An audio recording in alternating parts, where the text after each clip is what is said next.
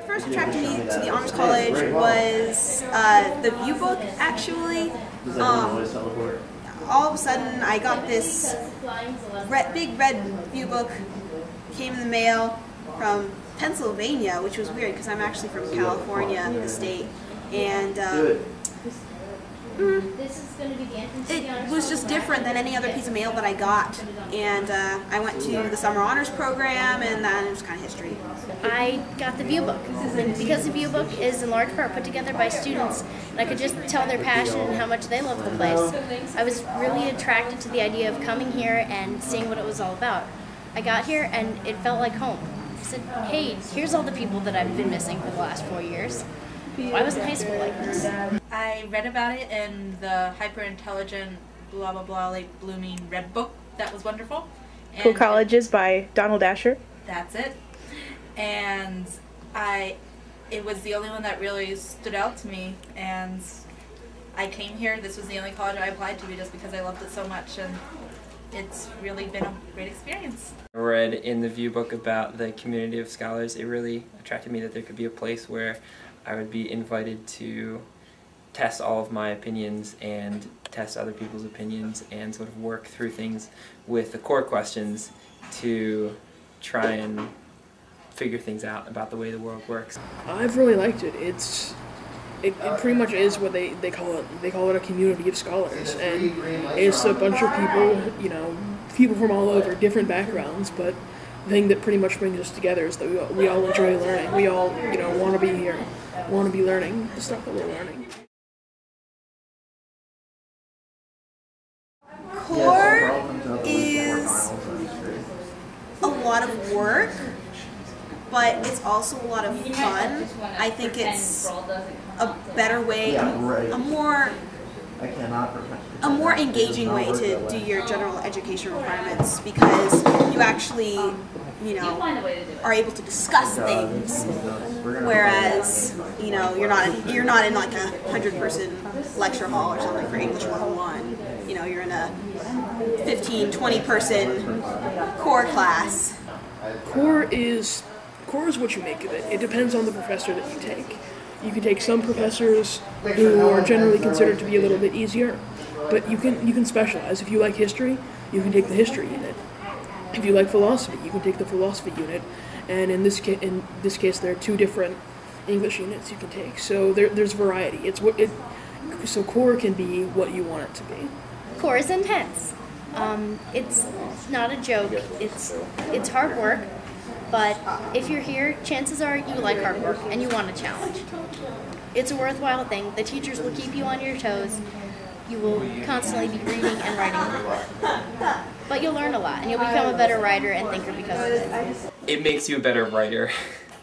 you have to you can't get by in honors core without becoming a better writer using good grammar, correct grammar. Uh, and it also forces you to learn how to defend a thesis because you have to write a thesis paper at the end of each unit. It makes you learn how to defend your arguments and not just have an argument that cannot stand on its own. Core is special. It's it bonds you together with all the other students, um, and you really feel like you've accomplished something after you're done with core. You know that you've learned something, and you really do learn how to think about things differently. With the small class sizes of core, you can really get to know your professors very well. it really is a community of people who are interested in doing well and helping you do well um, academically and socially and in basically all areas of your life.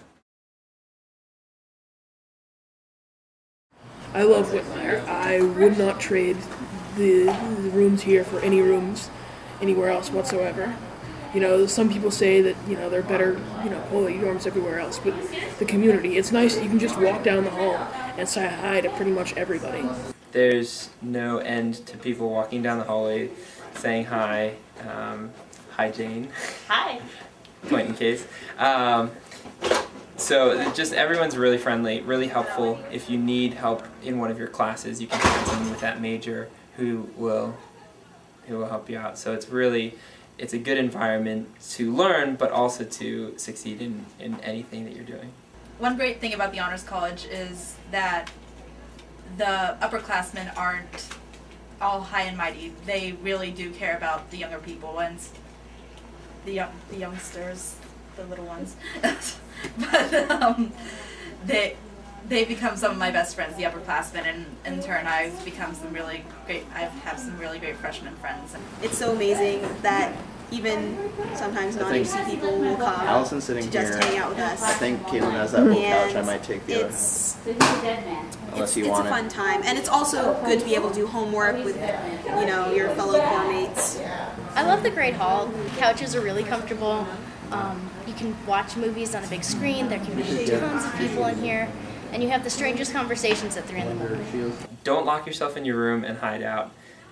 Make friends. It's worthwhile. Even though you might think, I have to be in my room, I have to study all the time, you actually do better in your classes if you're giving yourself that break to have social time, uh, to have a social life, not to lock yourself in your room with your homework all the time, but you know, enjoy life. Life isn't all, all about schoolwork, so enjoy it.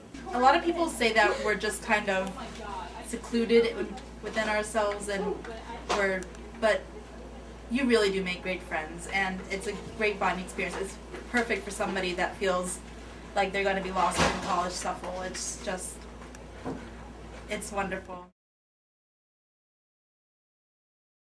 The Honors College has great opportunities for study abroad, and I hope to go to China next next semester. I've been studying uh, Mandarin for three semesters now, and it's just phenomenal the opportunities that I have because I go there. I definitely plan on using the enhancement funds. I'd like to take classes overseas. Uh, I'd like to spend a semester abroad. Uh, you know, maybe you know go on internships. And from what I hear and from what I I know, what you know, what other people have told me, Bob Cook will pay for you to do that stuff, which is very very nice.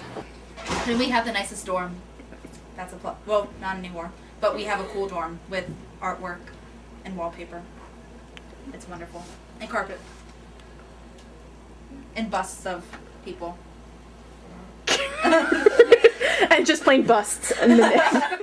Whitmyre rocks. Come join the nerd convention. It's not the right place for everyone, but it was definitely the right place for me.